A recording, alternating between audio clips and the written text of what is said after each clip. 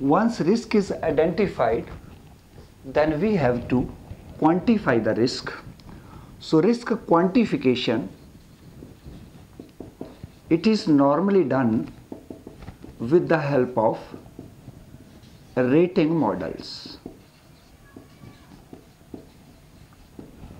For example, in case of credit risk, the banks insist on rating of their borrowers on various parameters. उन parameters में borrowers का financial position borrowers का business experience borrower का activity position of that industry in which the borrower is operating, past conduct of the borrower account, all these aspects are given lot of importance. On the basis of these parameters, the rating of the borrowers is done. Now these rating models, they may be custom made according to requirement of the bank or there may be off-the-shelf models also available. It is not important कि banker custom model prepare करवाता है या off the off the shelf models को use करता है what is important is इन models के through borrower का प्रॉपर रेटिंग हो जाए so that bank is in a position to make proper assessment of the risk to which is is exposed इस quantification के लिए banks put their borrowers into a scale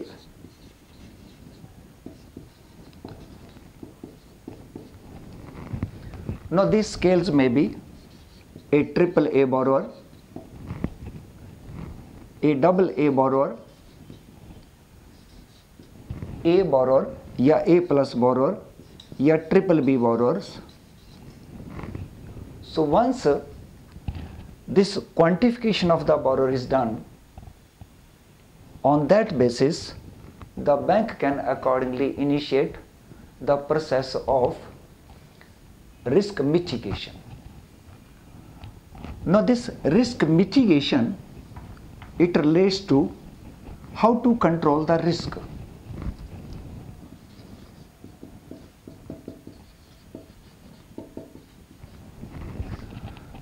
For example, in case of credit risk, the risk mitigation may be in the form of asking for margins from borrowers, proper documentation,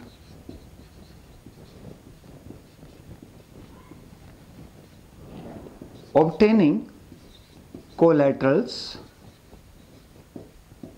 or even third party guarantees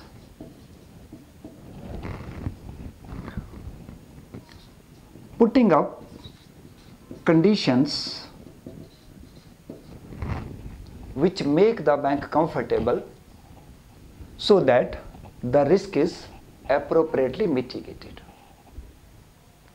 Now this mitigation of risk in different situations will be through different tools. For example, operational risk, it cannot be mitigated through these measures. To mitigate the operational risk, the bank may have to strengthen its procedures, its systems. The bank may have to carry regular inspections. The bank may have to educate its staff and so on. So risk mitigation, it differs, the tools differ from situation to situation.